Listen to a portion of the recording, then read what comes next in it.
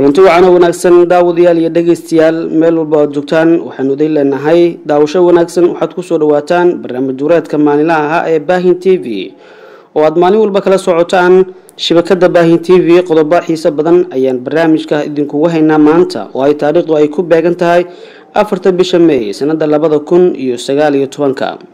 Qodobada xiisaha badan ee daawo doontaan waxaa ka mid ah ciidamada somalilan oo xabsiga dhigay mas'uul horey uga tirsanaa maamulka puntland haddaba mas'uulkan ay xireen ciidamada booliska ee somalilan maxaa lagu eedeeyey barnaamijka ayaan idinkugu soo gudmi doonaa kiiskii kufsiga iyo dilka ahaa ee loo geystay caa-isha yarey oo ka furmay magaalada garowe ee caasimada puntland xilli qoyska caa-isha ay guud ahaanba ka guureen soomaaliya.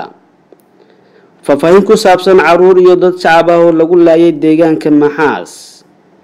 dowladda uu hogaamiyo madaxweyne maxamed cabdulaahi farmaajo lacaga siisa qaar ka mid ah warbaahinta si loo buunbuuniyo waxa ay doonayaan. Qodobadan iyo kuwo kale xiise badan ayaan idinkugu soo gudbin doonaa. Barnaamij wareedka aada maalin walba kala socotaan baahin t v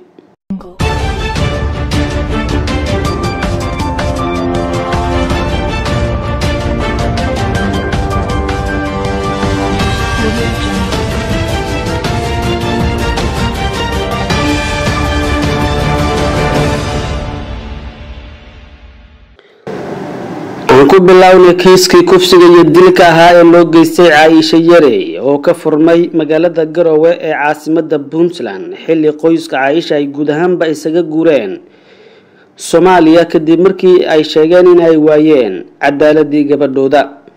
Wararka ka imaanaya magaalada garowe ee gobolka nugaal ayaa sheegaya in maxkamad ku taalla magaaladaasi ay ka soo muuqdeen shakhsiyaadkii ugu badnaa ee loo haysto kiisas kufsi ah oo horey uga dhacay puntland ku dhowaad toban ruux oo loo haysto kiiskaasi ayaa la soo taagay maxkamad ku taalla magaalada garowe waxaana loo haystaa dilka iyo kufsigii magaalada gaalkacyo. Looga geystay caa-isha ilyaas oo reerkeeda ay ka guureen magaalada gaalkacyo. Xeer ilaalyaha guud ee maamulka puntland maxamuud xasan ow cusmaan ayaa sheegay in la soo gabagabeeyey kiiskii kufsiga ku saabsanaa ee lagu wareejiyey xeer ilaalinta maamulka puntland waxa uu sheegay in ay baaris dheer ay ku sameeyeen. Kiiska kufsiga iyo dilka ee magaalada gaalkacyo loogu geystay caa-isha ilyaas aadan oo ahayd gabar labaiyo toban sano jir ah islamarkaana la soo idleeyay kiiskaasi. Xeer ilaalyaha guud ayaa intaa ku daray in macluumaadkoodu ay ku wareejin doonaan hay'adda dambi baarista ee puntland si ay ugu diyaariso galdacwadeed dhammaystiran goobta dacwadda lagu qaadaya ayaa waxaa ku sugnaa qeybaha kala duwan ee bulshada waxaana tobanka ruux la sheegay in loo haysto toddoba dembi oo ku aadan dilkii iyo kufsigii caa-isha ilyaas aadan oo ahayd gabar yar oo weli aan qaangaarin xeer ilaalinta ayaa qareenadii u doodayay eedeysanayaasha ka ogolaaday codsigoodii waxaana dib loo dhigay dhegeysiga dacwadda. Mas'uul ka tirsan xeer ilaalyaha maamulka puntland ayaa sheegay in maalinta sabtida ah ee na soo aadan dib loo furi doono dhageysiga kiiska dacwadan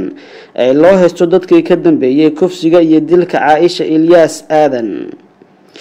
Dacwadan ka furantay magaalada garowe caasimada puntland ayaa waxaay ku soo beegmaysaa xilli qoyska caa-isha ay guud ahaanba isaga guureen dalka soomaaliya kadib markii ay sheegeen in ay cadaalad ay ka waayeen waxaana qoyskan ay u guureen dowlad deegaanka soomaalida ee ethoobiya nimankaasi waxa ay kufsadeen gabar aan qaangaar ahayn. Ilaa iyo eedaysanaha koowaad ilaa iyo eedaysanaha saddexaad. Waxay kufsi afduub dil handadaad u geysteen marxuumad caaisha ku dhigan waa qolka cabdifataax iyo cabdishakuur ay seexanayeen qolkana waxaa laga soo helay xashiish ayaa laga soo qaaday markii ciidanku amnigu baar waxaa kayskan maadaama uu culus yahay maadaama uu gaalkaaga ka dhacay maadaama aanan xog badan hayn waxaan maxkamadda ka codsanaa in dibna loogu dhigo muddo toban beriga sida uu qabo heerka habka heerka habka caqaabta soomaaliyeed qodobka boqol iyo kow waana xuquuq iyo sidoo kale qodobka lix iyo labaatanaad ee xeerka kursiga puntland sooduna waa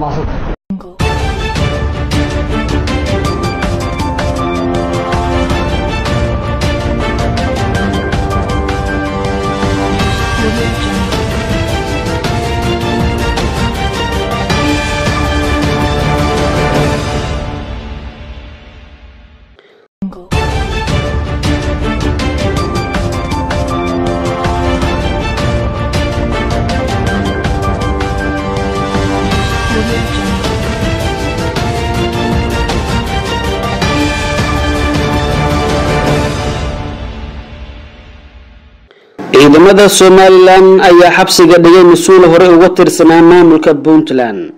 Ciidamada booliska ee maamulka somalilan ayaa magaalada laascanood ee gobolka sool ku xiray abuukar cabdi geelle oo soo noqday guddoomiyihii gobolka sool ee maamulka puntland. Abuukar geelle ayaa la sheegay in muddooyinkii la soo dhaafay uu ku sugnaa magaalada laascanood waxaana xabsiga dhigay ciidamada somalilan oo ku eedeeyey inuu magaalada inuu magaalada ka waday falal aysan raalli ka ahayn maamulkaasi. Maamulka somalilan ayaa ku eedeeyey abuukar cabdi geelle in magaalada laascanood uu ka waday ololo ka dhanaa somalilan laguna taageerayo xukuumadda federaalk ee soomaaliya. Waxay sheegeen mas'uuliyiinta maamulka somalilan ee gobolka sool in mas'uulkan xilka ka soo qabtay maamulka puntland dhowaan la soo taagi doono maxkamad lana soo bandhigi doono eedeymaha dembiga loo haysto maamulka puntland ayaanu weli ka hadlin xariga loo geystay abuukar cabdi oo soo noqday guddoomiyaha gobolka sool xilligii cabdiweli gaas waxa uuna abuukar xilkaasi iska casilay dabayaaqadii sannadkii hore ee labada kun iyo sideed iyo tobankii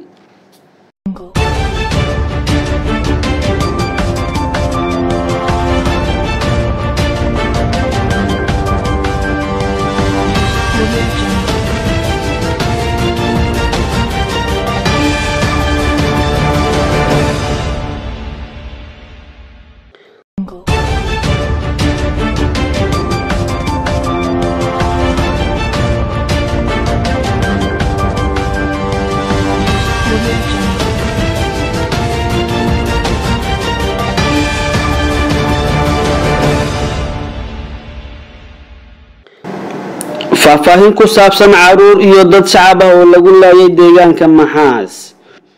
Wararka ka imaanaya gobolka hiiraan ayaa sheegaya in xalay weerar geystay khasaare isugu jira dhimasho iyo dhaawac. Uu ka dhacay deegaan ka tirsan gobolkaasi gaar ahaan degmada maxaas ee gobolka hiiraan ugu yaraan lix ruux oo afar ka mid ay yihiin carruur ayaa la xaqiijiyey in ay dhinteen. Waxaana sidoo kale jira dhaawacyo soo gaaray shacabkii saarnaa gaadhiga la rasaaseeyey oo ahaa gaari dadweyne. Sida ay xaqiijiyeen mas'uuliyiinta ku sugan degmada maxaas kooxo hubaysan ayaa dadkaasi waddada u galay kadibna laayay ciidamada xoogga dalka soomaaliyeed ayaa la sheegay inay gaareen goobta dadkaasi lagu laayay waxaana wararka qaar ay sheegayaan in dadkan ay ahaayeen dad ehel ah oo loo laayay aanooyin qabiil. Dadka la laayay ayaa isugu jiray haween iyo carruur yaryar islamarkaana waxay u socdeen deegaano ka tirsan gobolka hiiraan oo dhowaan ay ka da'een robab waxaana ay ahaayeen dad reer guura ah warar hoose ayaa sheegaya in dhacdadan ay salka ku hayso arrimo la xiriira aana qabiil kooxdii dilka geysatay ayaan weli gacanta lagu soo dhigan waxaana maamulka gobolka hiiraan ay sheegeen in ay wadaan baaritaano lagu xaqiijinayo arrintan islamarkaana ay ku baadigoobayaan sidii loo soo qaban lahaa ciddii ka dambeysay falkan arxandarrada oo xalay ka dhacay degmada maxaas ee gobolka hiiraan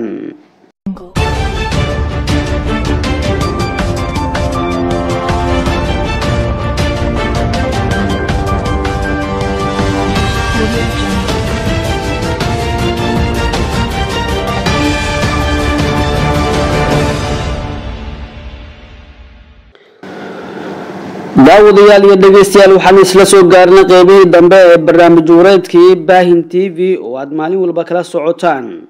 Shabakadan baahin t v. Dowladda uu hogaamiyo madaxweyne maxamed cabdulaahi farmaajo ayaa lacaga siisa qaar ka mid a warbaahinta si loo buunbuuniyo waxa ay doonayaan.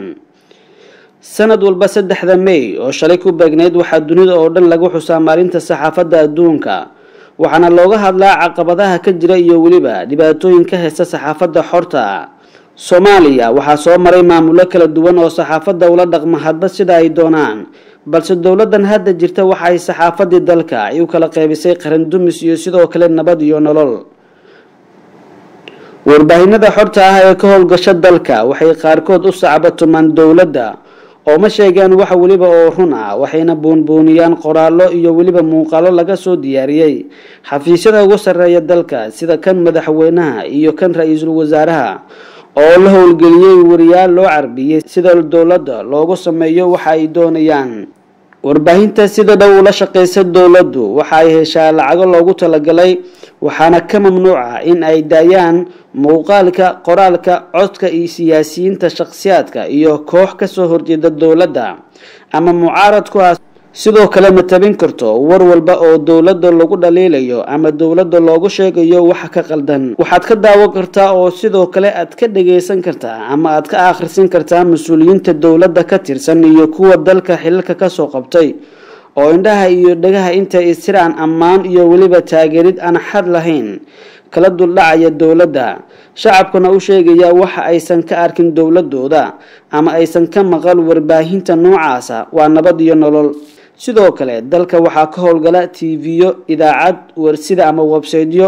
oo dhadhexaada oo cidna aan taageerin. Sidoo kale aan koox gooni ahi ka soo horjeedin bulshadana u soo gudbiya warar dheelitiran oo hufan oo labada dhinaca cidna lagu dhaliilin koox gooni ahna lagu farxadgelinin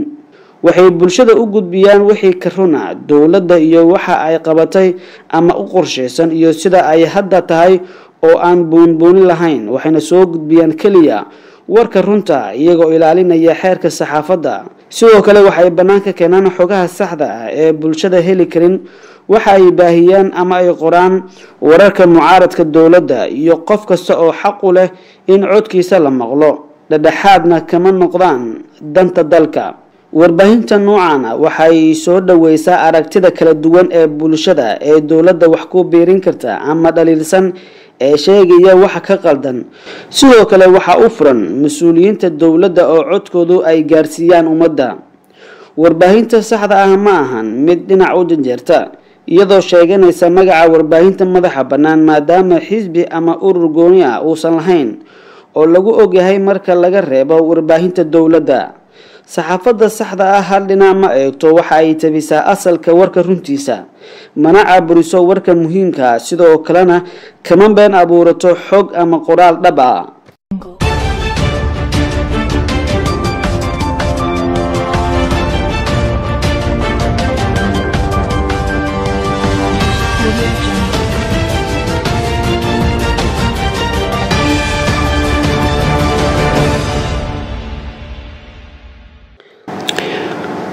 warbixintan uu qoray mid ka mid a wariyaasha soomaaliyeed ayaa waxa uu diiradda ku saarayey qaabka ay u shaqeeyaan. Warbaahinta soomaaliyeed